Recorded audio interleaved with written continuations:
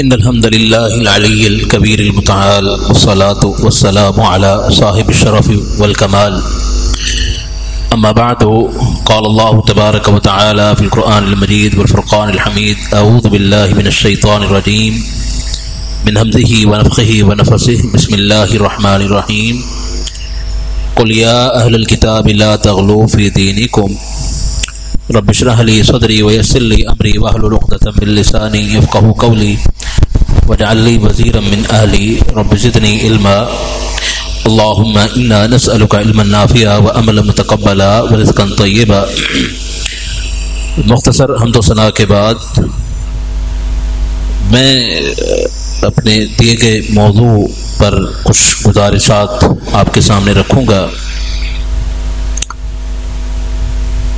قبل اس کے کہ اپنی گفتگو کو شروع کروں اپنے جذبات کا میں اظہار کروں گا، خاص طور پر اس مسجد کے حوالے سے۔ کہ مسجد رحمانیہ ایک ویسے تو ہر اللہ کے گھر سے ایک محبت ہونی چاہیے اور ہے، لیکن اس مسجد کے ساتھ ایک خاص انسیت اور ایک خاص محبت ہے۔ اس کی ایک سب سے بڑی وجہ مسئلہ کے اہل حدیث کے ماتھے کا جھومر اور مسئلہ کے اہل حدیث کے صحیح ترجمان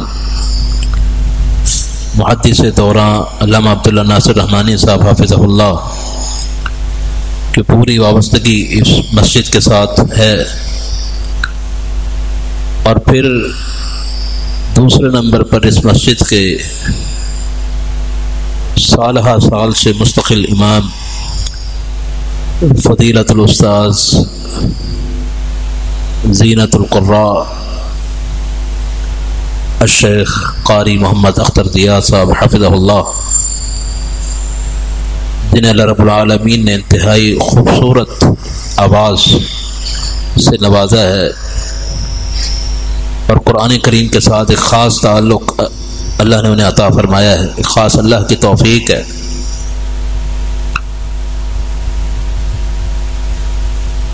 بلکہ اب تو شریم اختر ضیاء صاحب بھی ماشاء اللہ ان کی تلاوت سنی تھی ایک دفعہ بڑی خوبصورت آواز، خوبصورت انداز میں پڑھ رہے تھے اور آج کے بچے بھی ماشاء اللہ بہت اچھے انداز میں پڑھ رہے تھے۔ اللہ تعالیٰ آپ سب کا یہاں بیٹھنا بھی اور جو معاونین ہیں ان سب کا بھی اس مسجد کے ساتھ تعلق قبول فرمائے۔ اور ساتھ ہی ہمارے بھائی فیصل بھائی، اب جو انہوں نے یہ سلسلہ ایک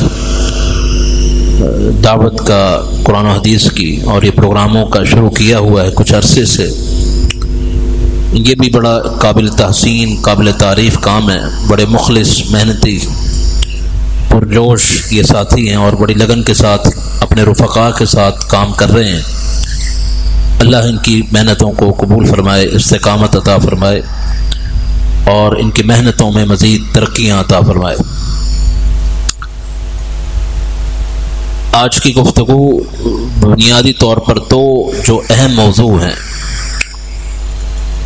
یہی دین اسلام کی صحیح پہچان بھی ہیں۔ اور واقعتاً موجودہ صورتحال میں اس موضوع، ان موضوعات کو سننا، سنانا اور سمجھنا انتہائی ضروری ہے۔ ایک موضوع تو عمل کے معیار کے حوالے سے ہے کہ عمل کا صحیح معیار کیا ہے۔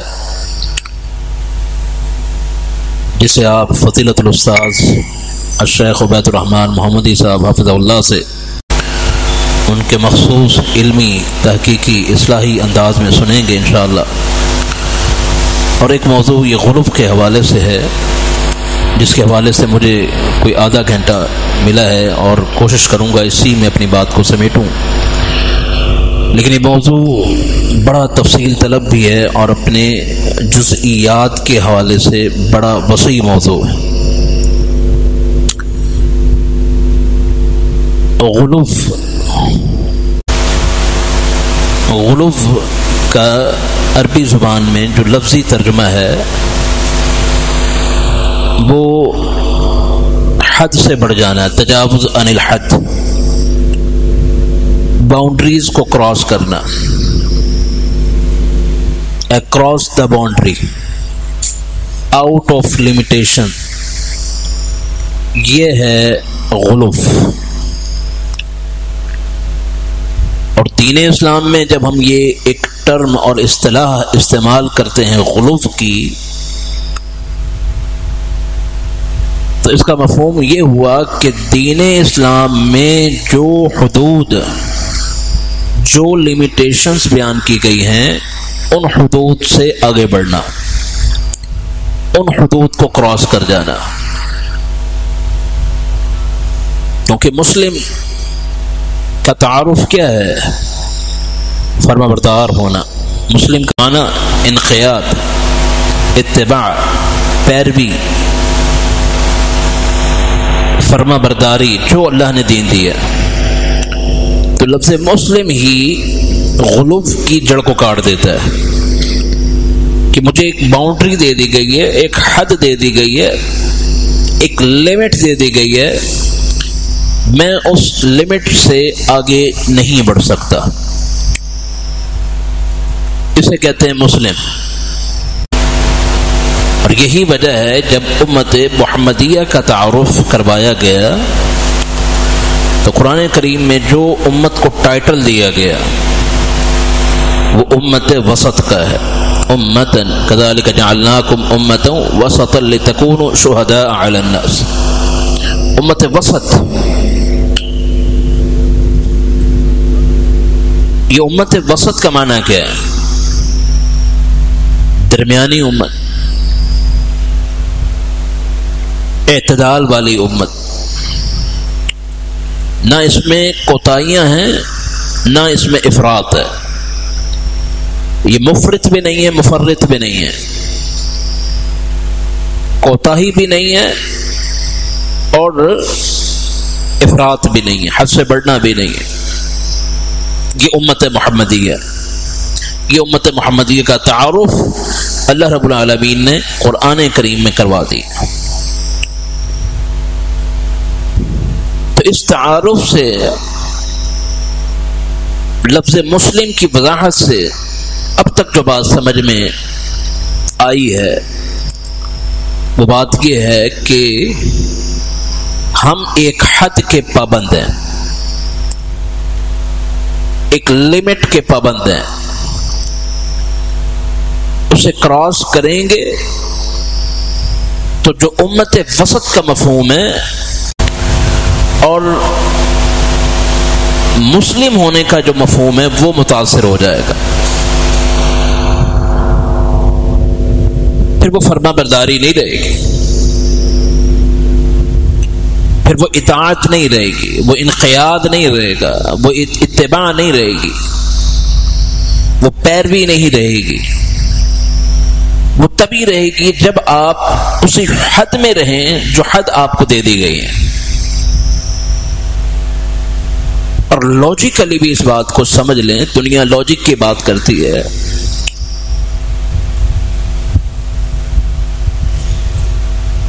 کہ کسی کمپنی میں، کسی فیکٹری میں، کسی پروفیشن میں آپ کام کر رہے ہو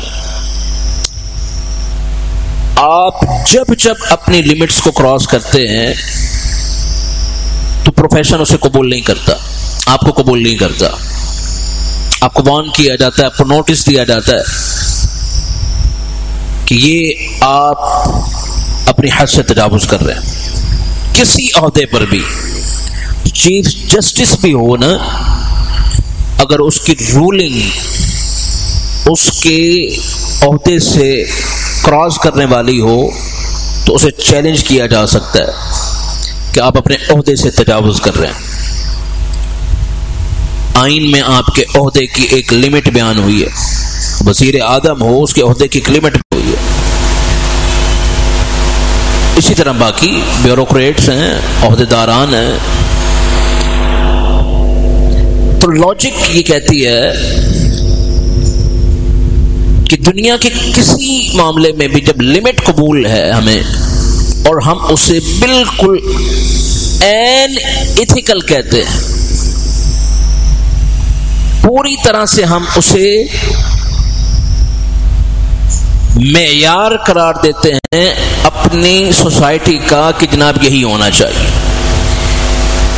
ہمیں اپنی لمٹس معلوم ہونی چاہیے۔ تو سر، یہی اسلام نے آپ کے ساتھ کیا اسلام نے آپ کو ایک مخلوق ہونے کی حیثیت سے، ایک بندہ ہونے کی حیثیت سے لمٹ دے دی آپ کو۔ اس لمٹ سے جب آپ کراس کریں گے، تو آپ اس کے منفی اثرات بھی سوسائٹی پر پڑیں گے اور اس کے ساتھ ساتھ آپ گناگار بھی ہوں گے۔ آگے میں اس کی صورتوں پر جب بات کروں گا، تو مزید باتیں کھل کر آئیں گی۔ تو یہ ابھی تک میں نے لفظ غلوف کی وضاحت کی ہے کہ غلوف کا مفہوم کیا ہے۔ کسے کہتے ہیں غلوف؟ اور براہ راست ہماری زندگی سے اس کا تعلق کیسے ہے؟ اور کیوں کر یہ ہونا چاہیے؟ کیوں کر اس پر بحث ہونی چاہیے؟ کیوں کر ہم اسے ڈسکس کریں؟ اس لیے کریں۔ یہ فضول چیز نہیں ہے۔ اس لیے آج کا یہ موضوع، بلکہ دونوں موضوع انتہائی اہم ہیں۔ ایک صحیح مسلمان کو اپنی ذمہ داری سمجھنے کے لیے یہ موضوعات سمجھنا انتہائی ضروری۔ ورنہ پھر شاید عمل تو ہو۔ عمل تو ہو، لیکن وہ عمل اگر حدود سے کراس ہے، متجاوز ہے، تو اس کی کوئی حیثیت نہیں، عند اللہ۔ اس لیے کہ آپ نے اللہ کی بات مانی نہیں۔ آپ نے پیروی کی ہی نہیں۔ اب آ جائیں ان کی صورتوں کی طرف۔ اور صورتوں کو سمجھنے سے پہلے میں ہسٹری کی طرف ذرا آپ کو لے کر جاؤں گا کہ ہسٹوریکلی ذرا ہم اسے سمجھ لیں تاکہ ہمیں کمپیریجن کرنا بھی آسان ہو اور ان صورتوں کو سمجھنا بھی آسان غلوف کی کباہٹ اس کی شناخت کو سمجھنا بھی آسان ہو۔ ہسٹوریکلی سے میری مراد وہ ہسٹری ہے جو ہمیں قرآن و سنت نے بیان کی ہے۔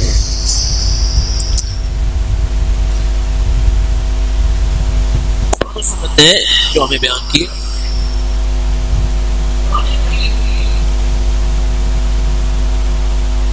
سورت النساء میں بھی اور سورت المائدہ میں بھی اہل کتاب کو ایڈریس کرتا ہے اور کہتا ہے، لا تغلو فی دینکم۔ تم اپنے دین میں غلوب نہ کرو۔ یہ جملہ ذرا ذہن میں رکھیے کہ اللہ رب العالمین قرآن کریم میں اہل کتاب سے کہہ رہا ہے کہ تم اپنے دین میں غلوب نہ کرو۔ بلا تقلو ثلاثہ۔ اللہ کو جو تم نے تین بنا لیا ہے، یہ تین نہ بناؤ۔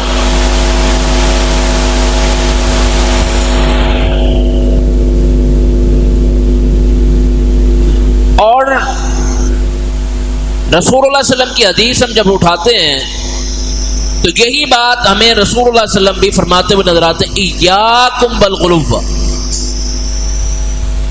کہ غلوب سے اپنے آپ کو بچا لو غلوب سے بچ جاؤ تو اہل کتاب نے ایسا کیا کام کیا تھا؟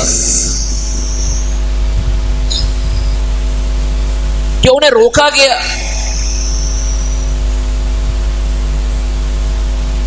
اہل کتاب میں دو بڑے گروہ شامل ہوتے ہیں کہ یہودی اور دوسرا گروہ ہے عیسائی۔ اور اس سے تھوڑا سا اور پہلے چلے جائیں قوم نوح۔ قوم نو کے جو نیک لوگ تھے، ان کا تذکرہ سورت نوح میں موجود ہے۔ سورہ نوح میں قوم کے بڑے اپنے لوگوں کو یہ نصیحت کر رہے ہیں، لا تذرون آلیاتکم بلا تذرون بدن ولا سباع ولا یغوس و یعوق و نصر۔ پانچ افراد کے نام۔ اور ان پانچوں افراد وضاحت کی گئی ہے۔ آدیش میں اور مفسرین نے بھی وضاحت کی۔ کہ پانچوں افراد کون تھے؟ یہ پانچوں افراد اس قوم کے نیک لوگ تھے۔ نیک لوگ۔ ان کی نیکی مشہور تھی۔ ہوا کیا؟ ان کی نیکی اور صالحیت سے امپریس ہو کر اس قوم کے لوگوں نے انسیت قائم کرتے ہوئے، تعلق کو مضبوط کرتے ہوئے، ان کی قبروں پر جانا شروع کر دیا، مجاور بن گئے، اور پھر ان کی تصویریں بنا کر لگا دی۔ اور بعد الجیل کچھ عرصے بعد، ایک نسل کے بعد جب دوسری نسل آئی۔ سیکنڈ جنریشن آئی۔ تو سیکنڈ جنریشن شیطان نے ان کے دلوں میں یہ وسوسہ ڈالا کہ یہ جو لوگ تھے نا، یہ تمہارے معبود تھے، تمہارے بڑے، تمہارے والے تمہارے دادا، پردادا، ان کی عبادت کرتے تھے۔ تو آغاز کہاں سے ہوا؟ آغاز تو ڈائریکٹ عبادت سے نہیں ہوا۔ پردادا نے، دادا نے، والد نے ڈائریکٹ تو عبادت شروع نہیں کر دی تھی۔ کیا کیا تھا؟ لمیٹیشن کو کراس کیا تھا۔ ان نیک لوگوں کی تعظیم جو تھی، اس تعظیم میں جب حد سے بڑھے اور ان کی قبروں پر تصویریں لگا دی گھروں میں ان کی تصویریں لگا دی ان کی قبروں کے مجاور بن گئے، یہ تجاوز انل حد تھا۔ یہ تھا حد سے بڑھنا، جس کا نتیجہ یہ نکلا کہ بعد والی نسل گمراہی کا شکار ہو۔ اللہ رب العالمین نے قرآن کریم میں ان کا خصوصی نام لے کر تذکرہ کیا خصوصی نام لے کر۔ ان پانچوں افراد۔ آگے چلے۔ اہل کتاب کی بات کر لیتے ہیں۔ یہودیوں کی بات کریں۔ قرآن کریم نے بیان کیا بقالت یہود ابن اللہ بقالت نصارہ المسیح ابن اللہ یہودیوں نے ادیر علیہ السلام کو ابن اللہ بنا دیا۔ مسیحیوں نے عیسیٰ علیہ السلام کو ابن اللہ بنا دیا، اللہ کا بیٹا قرار دے دیا۔ جو اللہ کے بندے اور مخلوق تھے، ان سے محبت میں حد سے بڑھ کر، تعظیم میں حد سے بڑھ کر غلوف۔ اس لمٹ کو کراس کیا، نتیجہ کیا نکلا؟ گمراہی کا شکار ہوگا اور آگے بڑھے۔ آل مکہ۔ آل مکہ نے کیا کیا؟ آل مکہ کا تذکرہ موجود ہے۔ لات کی آل مکہ پوجا کرتے تھے عزا کی پوجا کرتے تھے، منات کی پوجا کرتے تھے۔ یہ لات کیا کرتا تھا؟ کہاں یہ لطف سبق یہ قوم کا نیک آدمی تھا۔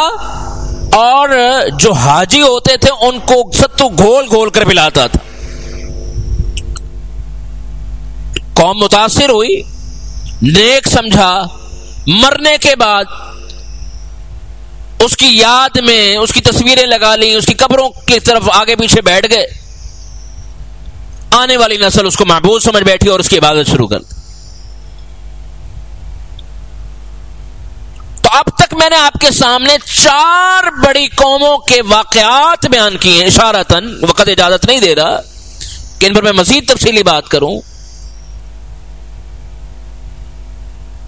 کہ جس ہسٹری سے ہمیں یہ سمجھ میں آ جاتا ہے کہ غلوف نے کس طرح سے اثر دکھایا اور کس طرح سے قوم بہ کی کیا ہوا؟ قوم نو کے ساتھ کیا ہوا، یہودیوں کے ساتھ، کیا ہوا عیسائیوں کے ساتھ، اور کیا ہوا اہل مکہ کے ساتھ؟ یہ ہے غلوف۔ اور یہی وجہ ہے کہ رسول اللہ علیہ وسلم نے اب امت محمدیہ کو مخاطب کی ہے۔ اب الفاظ سنیے گا کیسے سخت ہیں۔ کیا لفظ استعمال فرمائے؟ ہلاکل المتنطعون۔ ہلاکل المتنطعون. متنطع، تنطع کیا ہے؟ تعمق. بلا وجہ ڈیپتھ میں جانا.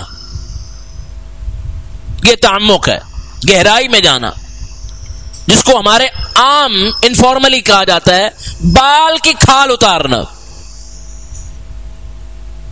شریعت نے آپ کو جتنا علم دیا ہے، آپ اس سے آگے بڑھ رہے بتائیں جی آدم علیہ السلام اور اما ہوا کا نکاح کس نے پڑھایا تھا؟ یہ تعمق ہے۔ جو چیز آپ کو بتلائی نہیں کی اس کی کھوج میں لگ جائیں۔ اور جب جب کھوج میں پڑیں گے، آپ بہک جائیں گے۔ یہی وجہ ہے کہ رسول اللہ علیہ وسلم نے حلق المتنط ان کے لفظ استعمال فرما آپ نے فرمایا یا کم الغلوب اہلک من کان قبل کم من کان قبل غلوب سے بچو۔ اس غلوب نے تم سے پچھلے لوگوں کو ہلاک کر دیا تھا۔ اور پچھلے لوگوں کی مثالیں میں نے آپ کے سامنے اشارت دے دی اس میں اہل مکہ بھی آ گئے، اس میں یہود و عیسائی آ گئے، اس میں قوم نو کے لوگ موجود ہیں، اور دیگر واقعات بھی ہیں۔ فرمایا کہ پچھلے لوگوں کو اسی غلوب نے ہلاک کیا تھا، اسی نے تباہ کیا تھا۔ اور ہلاکت دو طرح کی ہے۔ ایک ہلاکت ہوتی ہے، ہلاکت الاجسام، کہ جسم کو اللہ تعالی ہلاک کر دے۔ ایک ہلاکت ہے کہ ان کے عقیدے خراب ہو جائیں۔ تو دونوں ہلاکتیں مراد ہے کہ ان کے عقیدے خراب ہو گئے اور تباہی اور بربادی کا شکار بنے۔ اور یہی تباہی اور بربادی پھر ان کی اجسام کی تباہی اور بربادی یعنی اللہ کے عذاب کا سبب بن گئی۔ اللہ کے عذاب کا سبب بن گئی۔ تو فرمایا کہ پچھلی قومیں ہلاک ہو گئی۔ یہاں بھی یہ لفظ استعمال فرمایا، ہلاک المتنت متنت جو ہیں تنتو کرنے والے، یہ ہلاک ہو گئے۔ اب رسول اللہ علیہ وسلم نے یہ، بلکہ ایک موقع پر حبشہ کا سفر ہے اور میں سلمہ ساتھ ہیں غالب سید عائشہ بھی ساتھ ہے تو ایک چرچ میں تصویریں لگی دیکھی کہا اللہ کے رسول ہم بھی لگا رہے فرمایا کہ اسی چیز نے لمیٹیشن سے آگے بڑھ جانا۔ اسی چیز نے، غلوف نے، مبالغہ آرائی نے، حد سے تجاوز کرنے نے، ان قوموں کو ہلاک کر دیا تھا۔ اور سختی سے روکا آپ علیہ تو اب تک ہم نے میں موضوع کو آسان بھی کر رہا ہوں، کیونکہ اہم ترین موضوع میں چاہتا ہوں اس کو ایک تفہیمی انداز میں آپ کے سامنے رکھوں۔ سمجھنا آسان ہو جائے۔ اب آ جائیں اس کی صورتوں کی طرف۔ غلوف یاد رکھیے اس کا تعلق ہمارے عقائد کے ساتھ بھی ہے۔ عقائد میں بھی غلوف ہوا۔ غلوف مبالغہ آرائی ہوئی ہے۔ عبادات میں بھی ہے، معاملات میں بھی ہے۔ تینوں طرح کے غلوف مسلم کمیونٹی کی ہسٹری میں نظر آتے ہیں۔ اور جس طرح اللہ کے رسول وسلم نے غلوف کے واقعات بیان کیے، اور پھر اس سے روکا، اور صرف روکا نہیں ہلاکت جیسے لفظ استعمال فرمائے صرف ہلاکت جیسے الفاظ نہیں لانت کی اللہ کے رسول وسلم نے۔ لانت کے الفاظ بھی ہیں۔ اور آپ نے فرمایا کہ یہ قوم جو ہے، یہودیوں عیسائیوں کے ایسے پیچھے چلے گی، حزب القدہ بالقدہ اگر یہ کسی بل میں داخل ہوئے تھے، عیسائی، یہودی، یہ یہ قوم بھی اس میں داخل ہو جائے گی۔ اتنا ان کو کاپی کرنے کی کوشش کرے گی۔ اتنا ان کے پیچھے چلیں گے۔ اتنا ان سے متاثر ہو جائیں گے۔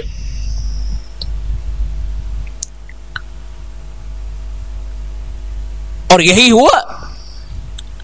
عقائد میں بھی مسلمانوں میں ایسے لوگ پیدا ہوئے جو خلف کا شکار ہو گئے۔ ایک فرقہ پیدا ہو گیا۔ اور یاد رکھیں خلوف دو طرح کا ہوا۔ ایک ہے اس بات میں حد سے بڑھنا۔ ایک ہے نفی میں حد سے بڑھنا۔ اس بات میں حد سے بڑھنا کیا ہے؟ جیسا کہ کیا مشبہ نے ممثلہ نے انہوں نے اللہ کے جو ایٹریبیوٹس تھے، اللہ کی جو صفات تھیں، ان صفات میں کی توصیف میں، بیان کرنے میں حد سے بڑھ گئے اور تشبیح کا شکار ہو گئے۔ کہہ بیٹھے کہ اللہ کی یہ صفات مخلوق کی طرح جو صفات اللہ کے لیے ثابت ہیں، وہ مخلوق کی طرح اس کے لیے کہہ بیٹھے۔ یہ اس بات میں قلوف ہے۔ نفی میں قلوف کیا ہے؟ نفی میں قلوف یہ ہے، ایک گروہ پیدا ہوا کہ نفی کرتے ہوئے حد سے بڑھ گیا۔ کہ وہ صفات جو ثابت بھی تھیں، ان کے بارے میں کیا بیٹھا، یہ اللہ کے بارے میں ثابت نہیں ہے۔ جس کو کہتے ہیں انکار، تعطیل اتلا سرے سے انکار کر دینا۔ نفی کر دینا۔ جیسا کہ معطلہ تھے۔ انہوں نے اللہ کی بہت ساری صفات کا انکار کر دیا۔ ہم نہیں مانتے۔ مانیں گے تو اللہ اور مخلوق میں کیا فرق رہے گا؟ ہم نہیں مانتے۔ تو دو قسم کے گروہ پیدا ہوئے، اللہ کی صفات میں تشبیح پیدا کرنے والے، اللہ کی صفات کا انکار کرنے والے، یہ اللہ کی صفات کا انکار کر رہا ہے، اللہ کے قدم کو میں نہیں مانوں گا، اللہ کے ہاتھ کو میں نہیں مانوں گا، اللہ کے عرش پر مصوی ہونے کو میں نہیں مانوں گا، اور یہ تشبیح کا شکار کر رہا ہے۔ اللہ کا ہاتھ کیسا جیسا میرا اللہ کا چہرہ کیسا جیسا میرا؟ اللہ کی انگلیاں کیسی جیسی میری؟ ان دونوں نے قلوف کیا اور ان دونوں کے درمیان ہے اعتدال کی راہ۔ امت وسط، امت مسلم، اہل السنہ والجماع انہوں نے کہا کہ نہ ہم اس بات میں مبالغہ کریں گے، نہ نفی میں مبالغہ کریں گے۔ ان دونوں کے درمیان ہے وسط، اعتدال۔ اللہ کی صفات کا اس بات بھی کریں گے اور جس کے بارے میں نہیں پتا وہ خاموش بھی رہیں گے۔ مطلب یہ ہے، اللہ کا چہرہ ہے کیسا؟ نہیں معلوم۔ اللہ کا ہاتھ ہے کیسا؟ نہیں معلوم۔ اللہ کی انگلیاں ہیں کیسی؟ نہیں معلوم۔ اللہ عرش پر مستوی ہے کیسے؟ نہیں معلوم۔ تو ان دونوں کے درمیان درمیانی وسط، امت وسط، جہاں سے میں نے بات کو شروع کی ہے، یہ رائے حق۔ دونوں طرف مبالغہ نہ ہو۔ آگے بڑھے صفات کے باب میں ربوبیت کے باب میں الوحیت کے باب میں بھی عقائد میں کچھ اسی طرح کا معاملہ ہوا۔ گروہ پیدا ہو گئے۔ مسیحیت میں میں نے مسیحیت، ہسٹری کو اس لیے بیان کیا کہ بہت ساری صورتیں بالکل ان سے حزب القصہ والا بالقصہ والا معاملہ ہے۔ حزب القصہ، بالقصہ والا معاملہ۔ بالکل ان سے متاثر ہو جانا، ان سے کاپی کرنا ہمارے اندر نظر آ رہا ہے۔ مسیحیت میں آج بھی مسیحیت، چھوٹا سا میں کمپیریٹو ریلیجن کا ایک طالب علم ہوں۔ آج بھی کسی مسیح سے پوچھیں، وہ مسیح کہتا ہے، مسیح کون ہے جی؟ خدا اور خدا کے بیٹے۔ کون ہے جی؟ خدا کے بیٹے بھی ہیں، تو پھر تو وہ تو مریم کے بیٹے ہیں، مریم سے پیدا ہوئے، پیدا بھی ہوئے، انسانی شکل میں آئے۔ خدا انسانی شکل میں آیا، انسان کی نجات کے لیے۔ یہ مسیح کا آج بھی عقیدہ ہے۔ وہ الہ بھی مانتا ہے معبود مانتا ہے؟ لیکن ایسا معبود مانتا ہے کہ انسان بھی مان رہا ہے۔ کتنی عجیب ترین بات ہے۔ اسی لیے کہا کہ لا تخلو فی دینے کو آج کا مسلمان بھی یہی کر رہا ہے۔ مسلمان کیا کر رہا ہے؟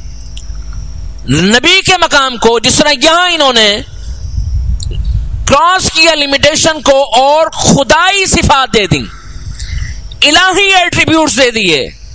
جو اللہ کا حق تھا وہ مقام دے دیا۔ یہی کام کیا مسلمان نے نبی کے بارے میں، جو ایک نبی کا مقام تھا، وہ ایک اللہ کا مقام تھا، وہ نبی کو دے دیا۔ مسلمانوں میں آج بھی عقیدہ موجود ہے۔ نور من نور اللہ کا۔ نور من نور اللہ کا مفہوم کیا ہے؟ اللہ کے نور کا حصہ۔ اللہ کے نور کا حصہ۔ تو پھر یہ پیدا ہوئے تھے۔ ہاں پیدا ہوئے تھے۔ تھے وہ انسان، لیکن تھے وہ نور۔ مسیح نے کیا کہا؟ مسیحیوں نے، کرسچنز نے۔ تھے وہ انسان، لیکن تھے وہ خدا۔ انہوں نے کیا کہا؟ تھے وہ انسان، لیکن تھے وہ نبی، ایسے کہ نور، نہ کہ صرف نور نور اللہ کے نور کا حصہ۔ دونوں میں کوئی فرق ہے؟ سوائے الفاظ کے معنی اور مفہوم میں کوئی فرق نہیں۔ سوال یہ ہے کہ اس انتہا تک پہنچے کیسے؟ اس انتہا تک پہنچے کیسے؟ ایک ہی وجہ، محبت میں آگے بڑھے اور نبی کو خدا بنا بیٹھے۔ محبت میں آگے بڑھے مسلم، نبی کو خدا بنا بیٹھے کہ خدائی صفات دے بیٹھے۔ مسیح علیہ السلام نے معجزات دکھائے۔ آپ دنیا بھر کے کرسچنس کو اٹھا کر دیکھ لیں۔ وہ جتنے میرے تھے، ان سب کو وہ خدائی صفات بنا کر پیش کر رہے۔ کہ وہ جو کسی مردے کو پیدا کر دیا تھا مسیح علیہ السلام نے، اس لیے وہ خدا ہیں۔ نبینا کو بنا ہی دے دی، اس لیے وہ خدا ہیں۔ اور یہاں پر بھی جتنے میرا ہیں، ان کو دلیل بنا لیا جاتا ہے کہ آپ تو عالم الغیب ہیں۔ آپ تو مختار کل ہے آپ کمپیریزن کریں کیا فرق نظر آ رہا ہے۔ کوئی فرق نظر نہیں آ رہا۔ اور اتنی عجیب ترین بات ہے، بہت ساری باتیں میں وقت اجازت نہیں دیتا۔ اور انشاءاللہ اگلے پانچ منٹ بات کو ختم کر دوں گا۔ پیش کی میں معذرت کر رہا ہوں، یہ موضوع بڑا وسیع ہے، لیکن بنیادی تفہیم آپ کے سامنے رکھ سکوں گا انشاءاللہ۔ آگے بڑھیں، تو آپ کو یہ کمپیریزن انہی نتائج تک پہنچا دیتا ہے جو انہوں نے کیا۔ وہ جب اپنے عقائد پر کھڑے ہوئے، انہوں نے اپنی جو ڈیوائن جو تعلیمات تھی، اس میں تعریف کی ہے۔ جی۔ اسے بدل کر رکھ دیا۔ بالکل یہی کام کیا مسلمانوں نے۔ جہاں جہاں انہوں نے کہا کہ یہاں ہمارا عقیدہ تو کچھ اور ہے، یہاں ہمارا موقف تو کچھ اور ہے۔ انہوں نے وہاں انہوں نے تعریف کی گئی۔ رسول اللہ وسلم کے حدیث میں، ان کے تراجم میں، قرآن کریم تک میں تعریف کی گئی ہے۔ آپ اپنے آپ کو مسلمان کہنے والا ایک پورا گروہ قرآن کریم میں تعریف کا قائل ہے اور کہتے ہیں اس میں تعریف ہوئی ہے، اسے بدل دیا گیا فلاں صورت نکل گئی ہے اس میں سے، اتنی صورتیں تھیں اس میں۔ فلاں فلاں عقیدے کی متعلق آیات نکال دی گئی۔ ان کے کور جو عقائد ہیں، اس میں یہ حصہ شامل ہے۔ کیا فرق رہا اس میں اور اس میں؟ اس حد تک پہنچایا کس چیز نے؟ غلوف نے۔ کس چیز نے پہنچایا؟ غلوف نے، مبالغہ رائی نے، حد سے بڑھنے نے۔ نیچے آئے شیوں نے کیا کیا؟ اب تو میں نے نام لے دیا۔ آپ کو نظر آئے گا، وہ امامت کے نام پر آئمہ کو انبیاء والا درجہ دے دیا۔ انبیاء کو خدا والا درجہ، آئمہ کو انبیاء والا درجہ۔ یہی کام ادھر ایک گروہ میں نظر آتا ہے۔ جس طرح نبی کو خدا والا درجہ دیا ہے، اس طرح ولی کو نبی یا خدا والا درجہ دے دیا۔ آپ حیران ہوں گے، ایک گروہ کی باقاعدہ فتوا کی ایک کتاب ملفوظات کی ایک کتاب لکھا جا رہا ہے۔ اوپنلی کلیئرلی کہ غوث العظم تو وہ رسول اللہ کا ہی ایک آئینہ دار شخصیت تھے۔ اس قسم کے مفہوم یہ الفاظ کا۔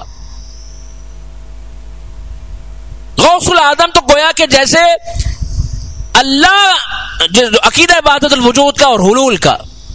حلول کا مطلب اتر جانا۔ غوث العظم میں اتر گیا، رسول اللہ میں اتر گیا، علی میں اتر گیا۔ اور سیدنا علی۔ سیدنا علی کے دور میں ابن سبا نے کیا کیا تھا؟ غلوف کیا تھا نا؟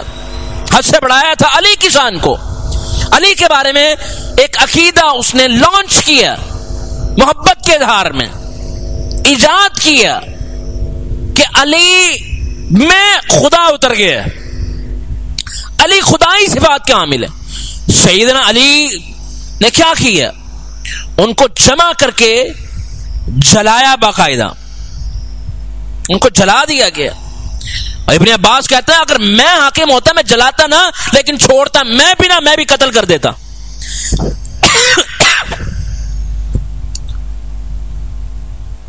تو سیدنا علی رضی اللہ تعالیٰ کا طرز عمل تو یہ تھا۔ اور یہی چیزیں رسول اللہ علیہ وسلم کے سامنے واقعات موجود تھے۔ اسی لیے کائنات کے امام علیہ السلاۃ وسلام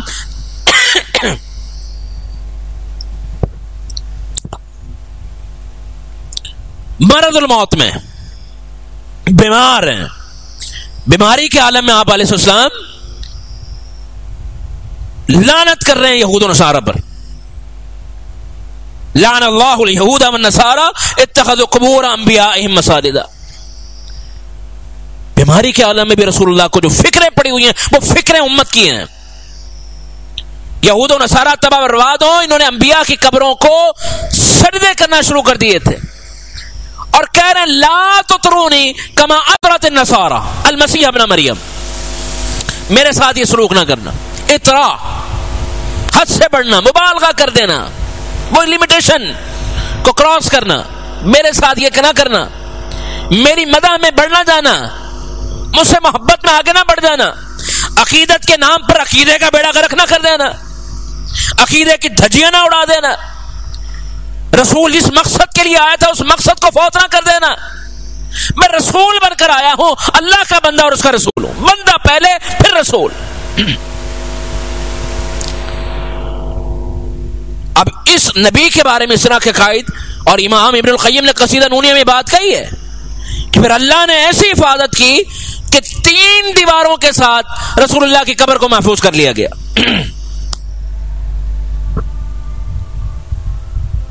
یعنی آپ کو ڈر تھا یہ کہ میری قبر کے ساتھ، اور کہنے والوں نے کہا کہ اگر یہ معاملہ نہ ہوتا تو رسول اللہ کی قبر کی مٹی بھی نہ جانے۔ آپ دیکھیں کیا یہ قلوب نہیں ہے؟ میں بات کو سمیٹ رہا ہوں۔ میں بھی چاہتا ہوں کہ شیخ صاحب سے مستفید ہوں۔ ہمارے استاد بھی ہیں۔ کیا یہ قلوب نہیں ہے؟ کہ آب زمزم کو چھوڑ کر مدینے کے نہ جانے کس کنویں سے کہاں سے کوئی پانی بھر کر آ جائے اور اس کا نام رکھ دیا جائے، یہ آب شفا ہے؟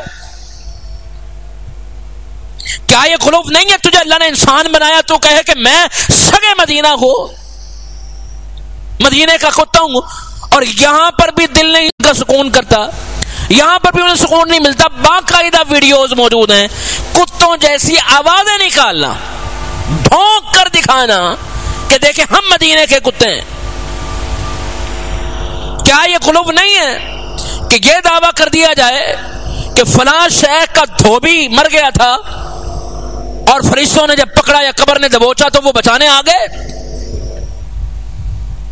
کیا یہ قلوب نہیں ہے کہ اللہ اور غوث العظم گھوم رہے تھے اور اللہ کا پاؤں جو ہے وہ پھسل گیا، غوث العظم نے بچا لیا، نام ہی دستگیر پڑ گیا؟ کیا یہ قلوب نہیں ہے کہ اتر پڑ وہ جو عرش پر تھا، مصطفی عرش تھا خدا ہو کر، اتر پڑا مدینے میں مصطفیٰ ہو کر؟ کیا یہ قلوب نہیں ہے کہ آپ ان سارے ایٹریبیوٹس کو جو اللہ کا حق ہے وہ انبیاء یا اولیاء میں تقسیم کر دیں؟ مجھے بتائیں، پھر اللہ کے پاس باقی کیا رہتا ہے؟ اولادیں کسی اور سے مانگ لیں۔ مختار کل تو کوئی اور ہے۔ عالم الغیب تو کوئی اور ہے؟ بگڑیاں بنانے والا کوئی اور ہے؟ مصیبتیں دور کرنے والا کوئی اور ہے؟ مشکلیں ڈالنے والا کوئی اور ہے؟ اللہ کے پلے کیا ہے؟ اللہ کے پلے تو کچھ نہیں رہا۔ حتیٰ کہ بچی تھی جو عبادت، آپ کا ہاتھ کسی اور کے سامنے پھیل رہا ہے۔ قیام کسی اور کے سامنے کر رہے ہیں۔ سجدے کسی اور کے سامنے کر رہے ہیں۔ اللہ کے پلے کیا ہے؟ اللہ کی صفات بھی آپ نے تقسیم کر دی جو عبادت ایک اللہ کے لیے کرنی تھی، وہ بھی تقسیم کر دی۔ بچا کے اللہ کے پاس۔ یہ خلوف ہے۔ اسی لیے کہا گیا اس خلوف سے بچانا۔ جہاں جہاں یہ خلوف آئے گا، دین کی دھجیاں اڑا کر رکھ دے گا۔ آپ عبادات میں آ جائیں۔ عبادات میں لوگوں نے خلوف کیا۔ کہا کہ نہیں، آٹھ نہیں، بیس پڑھیں گے۔ رسول اللہ سے آٹھ ثابت۔ پڑھیں گے بیس۔ رسول اللہ سے چار ثابت۔ پڑھیں گے سترہ۔ کیا یہ قلوب نہیں ہے؟ آپ عبادت کے طریقے میں اضافے کرتے پھرے۔ اس کے پورے میتھڈ کو بدل کر رکھ دیں۔ سارا قلوف کی شکلیں۔ معاملات میں قلوف کی طرف آ جائیں۔ جو چیزیں اللہ نے حلال کر دی آپ اسے حرام کرتے پھرے۔ یا اللہ نے حرام کر دی ہیں، آپ اسے حلال کرتے پھرے۔ کیا یہ قلوب نہیں ہے؟ تعمق۔ آپ اس حد تک حد سے بڑھ جائیں کہ لوگوں کو اس بارے میں بھی فتوا دیا جائے کہ کیلے کو آپ نے کس طرف منہ کر کے رکھنا ہے؟ قبلے کی طرف آپ پیٹ کر سکتے ہیں کہ نہیں؟ پاؤں کر سکتے ہیں کہ نہیں؟ کیا اس مسئلے پر اس طرح کے مسائل پر جب ہم تعمق کریں گے تنتو جسے حدیث میں کہا گیا متنطعون، کہا کہ یہ ہلاکت کے رستے عقیدے کا بھی بیڑا کرک ہو جائے گا منحج کا بیڑا کرک ہو جائے گا، اور بچے گا کچھ نہیں، پھر ہلاکت کے سوا کچھ باقی نہیں رہے گا۔ تو انتہائی اختصار کے ساتھ میں نے آپ کے سامنے یہ غلوف کی مختلف شکلیں جو ہمارے معاشرے میں ترویج پا چکی جس نے ہمارے عقیدے کو مسک کر کے رکھ دیا، ہماری عبادات کی دھجیاں اڑا کر رکھ دی ہمارے معاملات خراب ہو کر رہ گئے، ہم عقیدے میں بھی حنوت کی شکل اختیار کر گئے، ہم عبادات بھی یہودیوں اور عیسائی ایسی کرتے ہیں، ہم چہرہ ویسا بنانا چاہتے ہیں، ہم ہر شے میں ان کو اپنے سامنے رکھتے ہیں۔ جناب، وہ اگر پچیس دسمبر کریں گے سیلیبریشن، تو ہم بھی بارہ ربی الاول بنائیں گے۔ کیا یہ غلوف کی بالکل کمپیریزن کریں؟ کیا یہ سملیرٹی نظر نہیں آ رہی؟ کیا دونوں چیزوں میں بالکل مکمل طور پر کامن نہیں ہے؟ تو اللہ رب العالمین ہمیں سمجھنے کی توفیق عطا تو یہ اعتدال کی راہ افراد اور تفرید کے درمیان میں، یا دونوں طرح کی انتہاؤں کے درمیان میں جو رسہ ہے، یہ اصل اعتدال کی راہ، یہ اصل کامیابی کی راہ، یہ اصل نجات کی راہ، اور اس کا ایک ہی رستہ ہے۔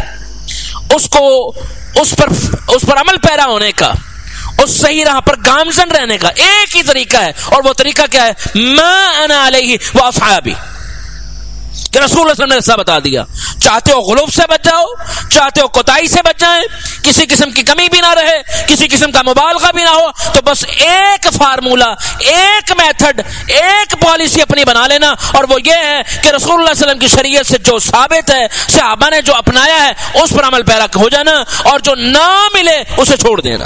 ما آتاکم الرسول فخذوه وما جو اس منہج پر قائم رہا، جو اس رستے پر قائم رہا غلوب اس کے پاس بھی نہیں آئے گا۔ اللہ رب العالمین سمجھنے کی توفیق عطا فرمائے۔ وما توفیق اللہ بالله علی تبکل توکلت علی